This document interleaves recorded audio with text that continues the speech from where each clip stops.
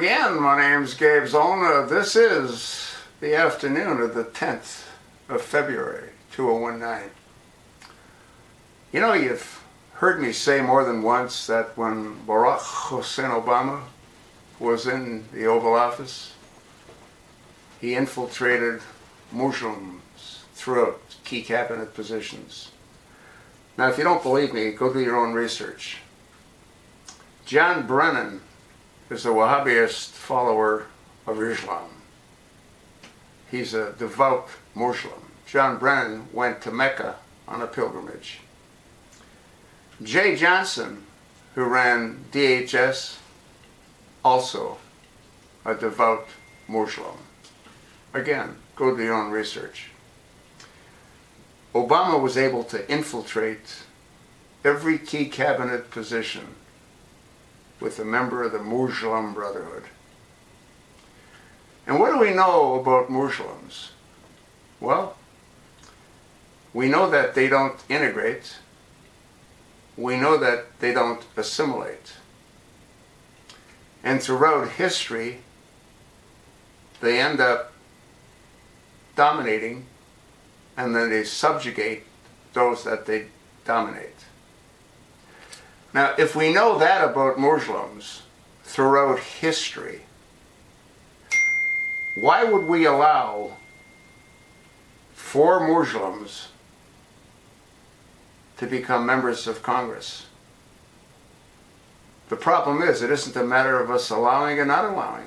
It's the democratic way. They get voted in by their constituents. These Muslims that are now members of Congress, not a single one believes in the Constitution. Not a single one was sworn in on the Bible, nor was Obama sworn in on the Bible. When he was first put into the Oval Office, the Chief Justice, John Roberts, flubbed the information that he had to recite. And they did it again the next day in the Oval Office. And the next day there was no Bible present. I actually did videos on all that. Now what we've got is we've got a Congress with four Muslims that we know don't assimilate, they don't integrate. And their objective is to dominate and eventually subjugate. What's wrong with this country when we allow this kind of insanity to take place? We now have four. Before this last midterm, we had two. After the next midterm or the next election, we'll have six, eight, ten, twelve, fourteen. Are you sort of getting a picture of what's happening to this country? You see why I had said what I had said way back when Obama was put in to the Oval Office to do exactly what he's done?